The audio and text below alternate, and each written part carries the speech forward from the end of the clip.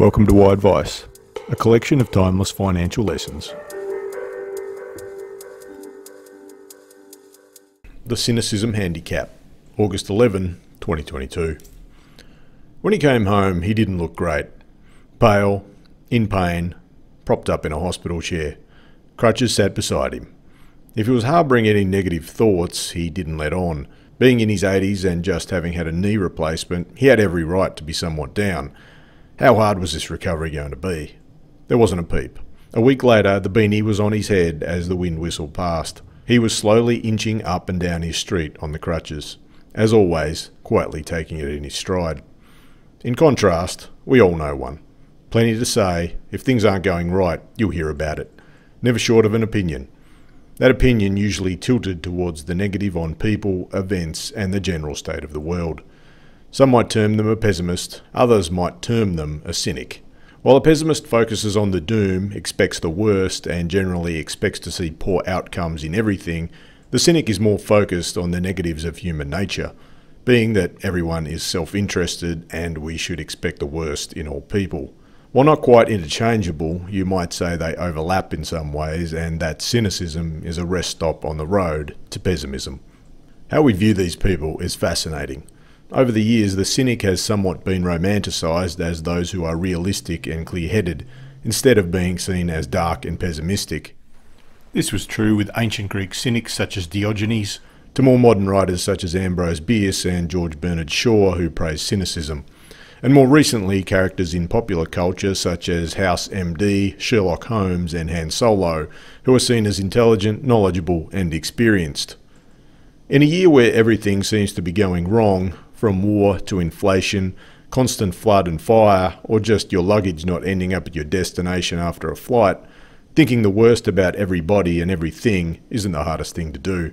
Buying into someone else's damnations may be even easier, especially if you're already in the mood to hear it. But there are some reasons why we should pause before going down this path. The first one is health. In various studies, cynics have been shown to have poor health outcomes, ranging from mental health to increased mortality risks. Is it chicken or egg? Does cynicism cause poor health outcomes, or do poor health outcomes result in people becoming cynical? Or do they both feed into each other to form a vicious cycle? Potentially all of the above. Being cynical can potentially lead to a delayed recovery or further medical struggles, as noted by a clinical psychologist. The degree of which people develop and use coping strategies to deal with an illness can have an impact. Cynicism is linked to feelings of pointlessness and the attitude that something is not going to work. It is very different to if someone is accepting of a diagnosis and takes a stance of how best to respond to their condition. The second one is happiness and how you feel about the future. In a very simple study, people were asked how they saw life. The answers could be a combination of long or short and easy or hard. Few people chose the long and easy option, but those who did were the happiest and had the lowest expectation they would encounter negative events. The larger number who chose the short and hard option had the lowest levels of happiness and a higher expectation they would encounter negative events.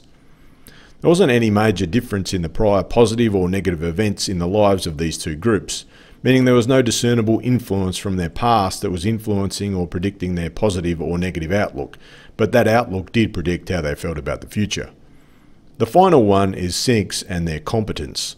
Cynics aren't exactly as competent and knowledgeable as you may assume. As noted earlier, the cynic or pessimist has been seen as the one with their finger on the pulse. These people aren't shy about offering an assessment on the current state of affairs, leading to the assumption they're well informed and quite competent. To come up with a gloomy scenario, a person must do some thinking and have some reasoning behind their thinking, which may offer the impression they're more intelligent than the rest of us. Not the case. A study by Olga Stavrova and Daniel Ehlebracht from 2018 called The Cynical Genius Illusion Exploring and Debunking Lay Myths About Cynicism and Competence delved into this. First, they confirmed the idea that many people see cynics as more competent and intelligent, then tested that competence in a series of cognitive and academic tasks. There was no link between cynicism and intelligence or cognitive ability, and the cynics actually did worse in testing.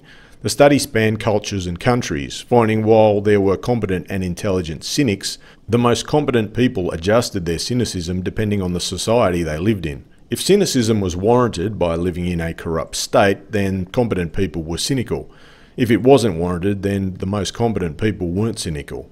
If you live in a malevolent environment, being cynical is a rational response. Being cynical in a free and democratic environment only means less trust and opportunity for the cynic. This was reflected in financial findings.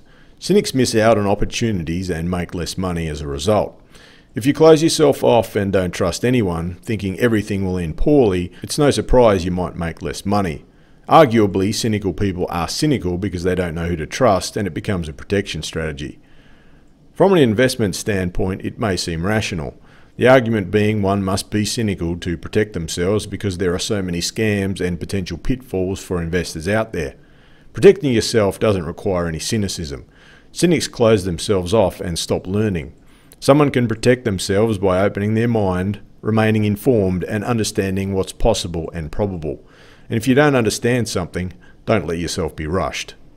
Finally, you might be wondering about our friend with the new knee. He's now off his crutches and walking without assistance. The knee is healing well, and last weekend he even mowed the lawn. That might be a negative or positive, depending on how you look at it.